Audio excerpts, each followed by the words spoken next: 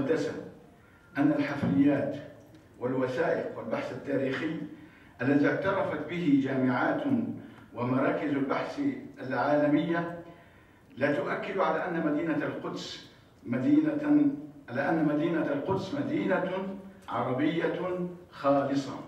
أسسها الكنعانيون العرب وبنوا فيها مدينة القدس الخالدة منذ أكثر من خمسة آلاف سنة. وذلك قبل الميلاد. ولا زالت الآثار الكنعانية إلى وقتنا هذا تؤكد على الأصل العربي التاريخي لمدينة القدس. إن نظرة بحثية تاريخية وحضارية فاحصة لأطوار هذه المدينة المقدسة وما مرت به عبر التاريخ من تطور لا تؤكد على أن العرب والمسلمين لهم حق أصيل في هذه المدينة المباركة بكل ما تحتويه من آثار مقدسة. ذلك أن الاهتمام بالقدس الشريف لم ينقطع لحظة واحدة في تاريخ وحضارة المسلمين.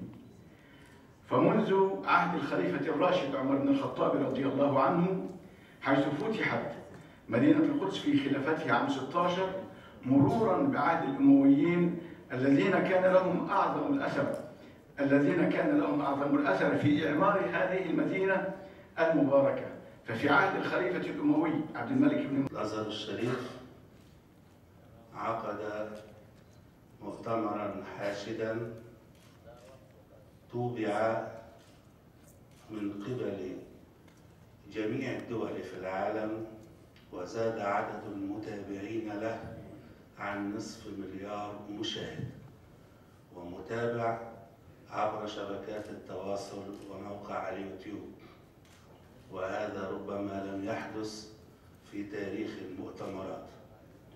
وهذا يدل على اهتمام أحرار العالم بقضية القدس الشريف. الأزهر الشريف أعلن أن هذا العام هو عام القدس وأنه سينظم فعاليات كثيرة لإحياء هذه القضية واستعادة وعي شبابنا العربي لقضيتنا المحورية. فهذا اللقاء يأتي في هذا الإطار. وهناك ندوات وفعاليات تنظم من خلال جامعة الأزهر وفروعها في الوجهين البحري والقبلي. خلال وعظ الأزهر الشريف المنتشرين في كافة محافظات الجمهورية ومن خلال قطاع المعاهد الأزهرية فضلا عن الأنشطة التي تقوم بها مشيخة الأزهر. رأينا ثابت وسعينا متواصل مع أشقائنا ومع أحرار العالم المعنيين بهذه القضية. حتى تجد الحل الذي لا فصال حوله ولا تنازل عنه وهو أن القدس الشريف عاصمة أبدية لدولة فلسطين العربية.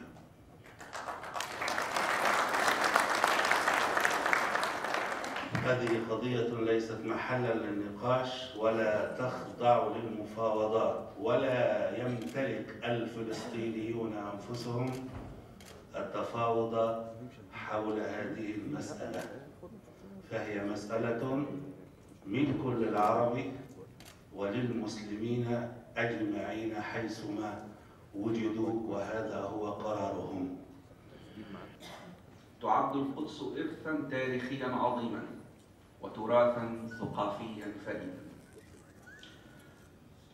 وللأسف الشديد فإن هذا التراث مهددا مهدد بالخطر جراء الممارسات الإسرائيلية فيه والتي بدأت بعد أربعة أيام فقط من احتلالها لها عام 1967 حين هدمت السلطات الإسرائيلية حي المغاربة كاملا وطردت سكانه القاطنين في كل المنازل في ذلك الحي.